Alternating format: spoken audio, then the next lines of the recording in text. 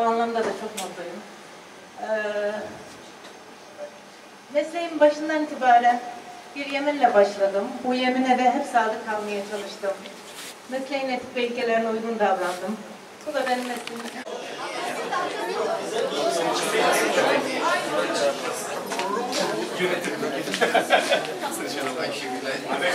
Sayın Başkanım,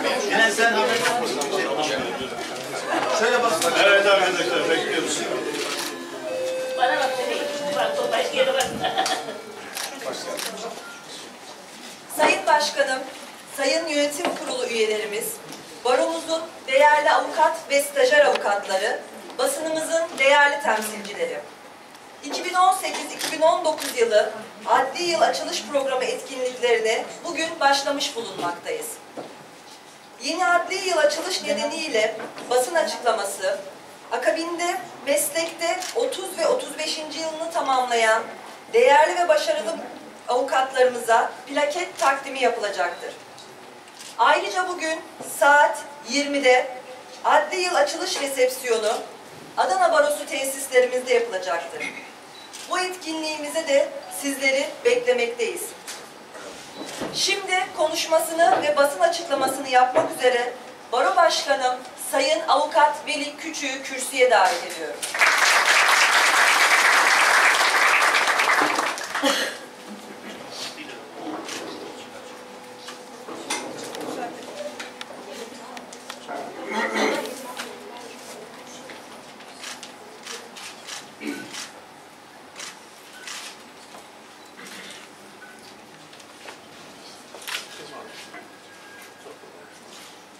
Saygıdeğer meslektaşlarım, değerli üstadlarım, genç arkadaşlarım, sayıları oldukça fazla aramızda ve basınımızın saygıdeğer temsilcileri, sizleri şahsım ve Adana Barosu Yönetim Kurulu adına saygıyla, sevgiyle selamlıyorum. Adli yıl açılış törenimize hoş geldiniz. Evet, uzun bir yaz döneminden sonra 43 gün, fiilen 43 gün süren uzun bir aradan sonra yine bir aradayız. Birbirimizi özlediğimiz, parıldayan, pozitif bakışlarla ortada. Adana'nın nemli ve sıcak günlerin henüz sonlanmadı ama bizler Adalet Teşkilatı'nın, yargının kurucu unsuru olan avukatlar ve tüm yargı camiası yeni adli yıla hazır bir vaziyette bugün itibariyle çalışmaya başlayacağız. Ülkemiz gündemi hukuk dünyamıza dair, yargı dünyamıza dair yoğun tartışmaların yer aldığı hak ve özgürlükler anlamında olumsuz olayların, olumsuz örneklerin yaşandığı bir dönemdeyiz ne yazık ki. Ben öncelikle hukuk devleti ve adalet kavramı ile yargı bağımsızlığının yaşama geçtiği bir adli yıl olmasını diliyorum. Ancak mevcut veriler ve yaşadığımız son günlerde yaşadığımız olumsuzluklar bu noktada umutlarımızı kırmakta ise de geleceğe pozitif, umutlu, aydınlık yarınlara olumlu yönleriyle bakmak durumundayız. Her şeyden evvel bugün adli yıl açılışı Ankara'da Cumhurbaşkanlığı'nın Cumhurbaşkanı'nın ev sahipliğinde yapılmakta. 16 Nisan referandumundan sonra ülkemizin içerisinden geçtiği olumsuz süreç parlamentör, parlamenter demokrasi adına yaşadığımız olumsuz süreç tek adam iktidarının tüm unsurlarını yaşadığımız dönemde ne yazık ki yargı bağımsızlığına, yargının tarafsızlığını zedeleyen olumsuz bakış açısını ortaya koyacak bir uygulama. Yargının adli yıl açılışını Cumhuriyet'in kurulduğu tarihten bu yana olduğu gibi yine kendi ev sahipliğinde ve kendi mekanlarında yapması yargı bağımsızlığının şekli anlamda da, içerik anlamında da en önemli unsurlarından biri olacaktır. Geçmiş yıllarda, son yıllarda hatta hakim savcı kurallarının Cumhurbaşkanlığı Külliyesi'nde çekildiği, hakim savcı adaylarının, hakimlerin, savcıların Cumhurbaşkanını, yürütmenin başı konumundaki Cumhurbaşkanını ayakta karşılayarak hatta elleri patlayıncaya kadar da alkışlayarak karşılaması yürütme makamına, Cumhurbaşkanlığı makamına saygının ötesinde çok farklı anlamlar ifa, ifade etmektedir. Bu görüntü, bu negatif görüntü ne yazık ki Amerika Birleşik Devletleri boyutuyla da Avrupa Birliği ülkeleri boyutuyla da ülkemiz yargısına ön yargılı bakılmasını, tereddütlerle bakılmasını sağlamıştır. En son yaşadığımız Rahip Branson olayında Amerika Birleşik Devletleri yargı üzerinden Türkiye'ye bir dayatmada bulunmakta ve bu dayatmaya da siyasi iktidar, yetki ve sorumluluk noktasındaki kişiler, başta Cumhurbaşkanı olmak üzere ne yazık ki bahsettiğim uygulamalarla sebebiyet vermiştir. Yargı bağımsızlığını sağlamak ülkede hukuk devleti kavramını, demokrasi kavramını yaşama geçirmenin ilk ve başlangıç noktasıdır. Mutlak surette yürütmenin bu algıyı ortadan kaldırmasını ve bugünlerde sıcağı sıcağına görüntüsel boyutuyla da ortaya çıkan, konulan bu tablonun değiştirilmesini bir hukuk kurumu olarak, avukatların teşkilatı, örgütü olarak ifade etmeyi bir borç biliyorum.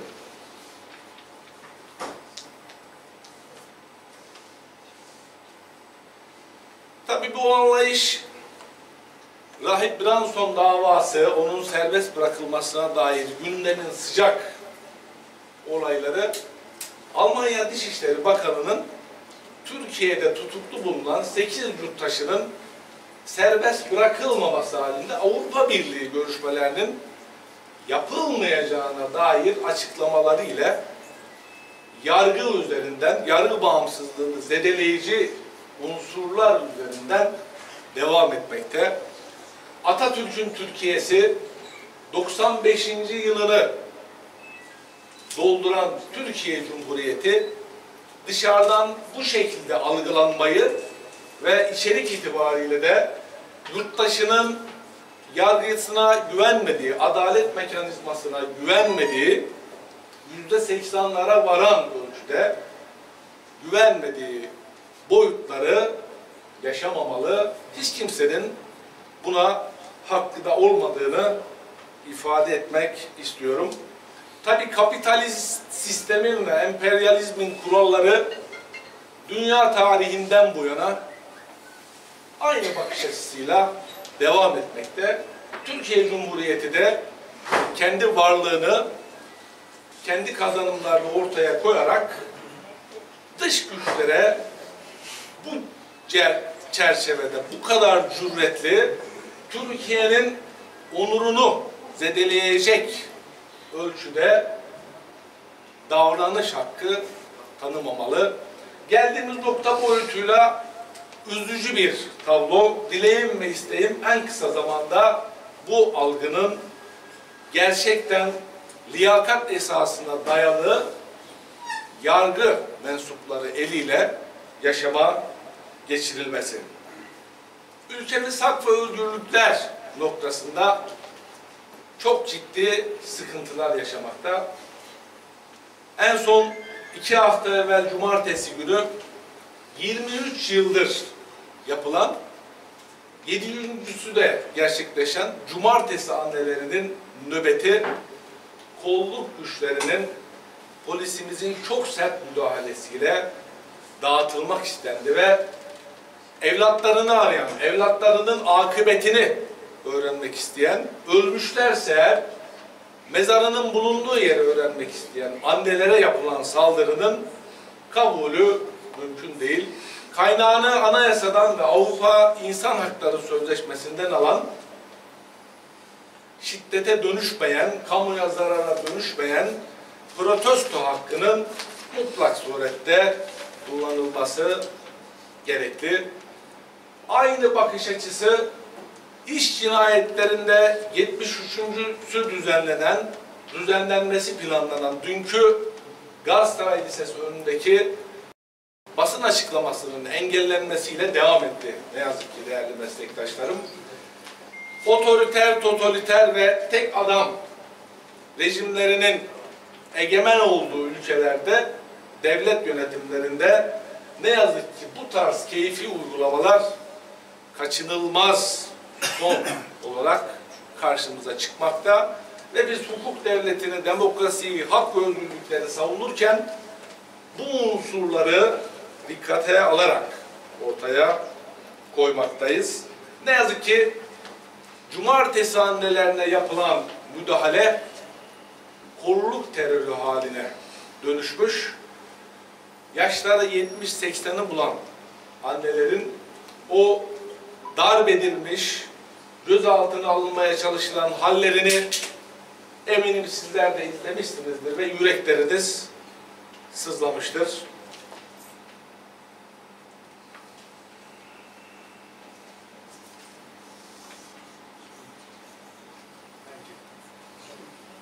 hak ihlali, hukuk ihlali noktasında önümüzde yaklaşmakta olan bir dava var. 10 Eylül Pazartesi günü İstanbul'da meslektaşlarımızın mesleği ifa ediş tarzları dolayısıyla ve sosyal, toplumsal davalara, dosyalara müdahil olup avukatlık yapmaları dolayısıyla gözaltına alınıp yaklaşık bir yılı bulan uzun süreli tutukluluk hallerine dönüşen davalarının duruşması var. Selçuk Kozağaçlı ve arkadaşları iddianamesini de dosyayı da ben inceledim. Geçmiş yıllarda haklarında açılan dosyaların, iddiaların tamamen aynı. Ülkemizde farklı seslerin, muhalif kimliklerin hedef olduğu günümüzde ne yazık ki meslektaşlarımız da böyle bir hedef olma durumuna düşürüldüler. Bu davanın duruşmasına Adana Barosu olarak, yönetim kurulu olarak katılacağız. Uygun olan meslektaşlarımızın da mesleğin onuruna sahip çıkma, mesleki dayanışma noktasında mutlak surette dayanışmaya davet ediyorum buradan. Bu dosyada şöyle enteresan ve farklı bir durum da söz konusu değerli meslektaşlarım. Her biri farklı bir şehirde, farklı bir cezaevinde olan meslektaşlarımızın bizzat duruşmaya katılarak Plaketini kendisine takdim etmek üzere Profesör Doktor Avukat Mustafa Topaloğlu'nu davet ediyorum.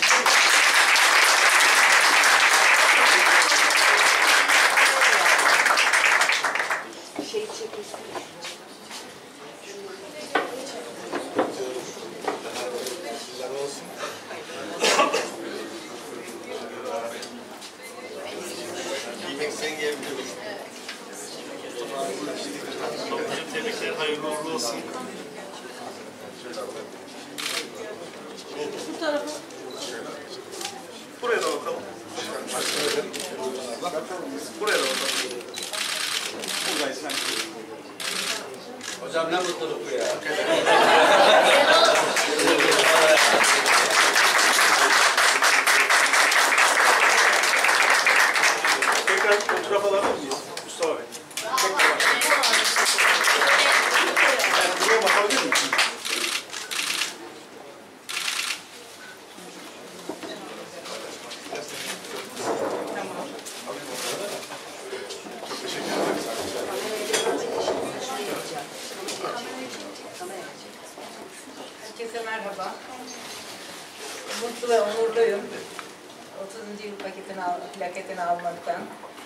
Öncelikle baro başkanıma ve e, yönetim kuruluna tek tek herkese ayrı ayrı teşekkür ediyorum. 30 yıl çabuk geçti e, ama güzel geçti benim için. E, kazanımlarım oldu, umutlarım var. Özellikle mesleğimizle ilgili olarak kaybetmedim. Ee, kazanımlarım özellikle eşim, kendisi burada. Teşekkür ediyorum. Mesleği sevmemde hep destek ve yardımcı oldu. Minnettarım. Ee, yeğenim, birlikte çalışıyoruz. Avukat Zümriye. Oğlum, Şimdi de Sayın Hülya Acemoğlu'nu ve plaketini takdim etmek üzere avukatımız Atilla Ayman'ı buraya davet ediyoruz.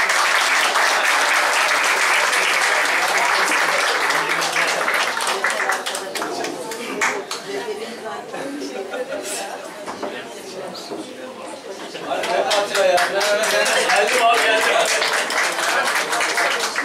Koşarak geleceğim. Başkanım sana olsun. Abi 8 yıl vardı. Nerede şey? Evet. Buraya bakalım. Ablacığım.